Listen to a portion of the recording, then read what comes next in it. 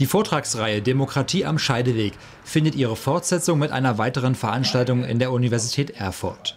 Der Bundesbeauftragte für die Unterlagen des Staatssicherheitsdienstes der ehemaligen DDR, Roland Jahn, war diesmal zu Gast in der Landeshauptstadt. Er gab einen kurzen Abriss über die Geschichte der Menschenrechte und berichtete zudem über seine persönlichen Erfahrungen mit der SED-Diktatur sowie über die aktuelle Arbeit seiner Behörde. Das ist das, was mich beschäftigt, sozusagen äh, eine DDR mit den verschiedenen Gesichtern, eine DDR, äh, wo es äh, Menschenrechtsverletzungen gab und äh, gleichzeitig aber viele Menschen sich angepasst haben.